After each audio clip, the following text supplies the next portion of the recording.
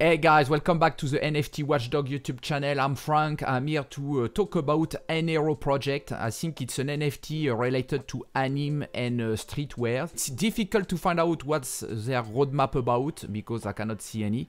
And uh, from what I saw so far, Nothing is explained. However, we are here today because there is an issue going on with their Discord. They have been hacked, most probably through a web hook. So basically, uh, someone uh, is taking control of their Discord, can uh, delete all the channels, everything, and can also post in the announcement a link to a fake website so people uh, believe it's time to mint and uh, and they go mint and it's actually uh, not the, the real owners and they get nothing. They just lose their money. So here you can see behind me the uh, the web page, official web page. So not much to say about it huh, because no, we don't have any much information. However, that's the fake page here, and you can see uh, their wallet behind it. It's here, and so far they managed to steal about thousand dollars. So let's me let me just refresh. Maybe it's even more now. I opened this like uh, 20 minutes ago time for me to research something. Hey, we are at 19,000. So you see still people getting uh, getting scam here. Let's have a look on the Etherscan. You see five minutes ago, so people still get into it. So one thing you guys need to understand when you look at an NFT project, they give you a date. You know exactly when the drop is going to happen and stuff. So why jumping in when you suddenly see an announcement where it tells you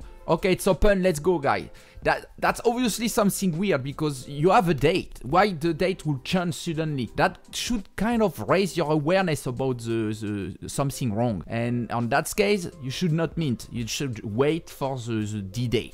Uh, so that's one thing. Unfortunately, of course, the message that came into the, the, Discord was the following one. So it tells people to check out the announcement, to uh, go on the website, which is the fake website. The, the real website has nothing to do with that. It's aneroverse.com, not .io. And they tell you the public mint is live. They make you believe that 75% of the project is already sold out, so basically creating some FOMO, so you feel like shit, I have to go now, otherwise it's uh, it's over. They make you believe that you're going to get gas fees but free for free if you are the owner of one of those NFTs here. So mostly anyway, most of the people that are going to mint here won't be an holder of one of those NFTs. Only few people have them at the moment. But it's also to create you some kind of uh, look. It's it looks official. Huh? Everything looks official. They tell you that everything is logged to uh, prevent the scam. So of course, they, they log themselves, huh, the scammers, just to avoid people to talk about the scam going on. Huh? Otherwise, they will uh, lose some customers. And they thank you for the minting and stuff. So that's it. So people who are connected to the Discord, okay? Most of you guys, they know, if most of them, they know exactly when is the, the drop, official drop date. Or if it's not yet announced, they know that it will be announced and then they will have time to prepare for it because you need time to load into your wallet the Ethereum that you need or Polygon, whatever. And then the announcement will come. But anyway, you see some people that will jump in straight away because all due to the FOMO that is around the project. Usually that's inexperienced people that, that get into the scam. It's very unfortunate because uh, some people will have saved maybe money for a while, spending their savings that they, they took time to make. So it's kind of it's, it's kind of, it's disgusting. To be honest, it's disgusting that some scammers uh, take advantage of people like this. Um, but it's unfortunate, it happens now. So if you see this video and you're still uh, into the hype of this project, don't go mint, not at the moment, because uh, they, are, they are going to they have to create a new uh, a new Discord. Now, what is interesting about this project? It's not the first time. Huh? It's the second time that this happened, that they got their uh, Discord compromised. You can see here, the first time was on the 18th of February. They got the Discord attack, and then they said, we are going to put a lot of effort ensuring that our security is of the highest caliber. But but obviously, the CM behind the Discord must not know very well what to do because it happens again. And if it's what I think, and most probably a webhook uh, attack, that's uh, that's very unfortunate because you can really avoid this uh, easily on a Discord server. Uh, but it happened anyway, and now what you're going to see once you have those kind of attack, it's even more scammers jumping in because they're already uh, ready to go and maybe the same scammers are also on the Twitter and trying to, to scam you again. So we have this tweet here.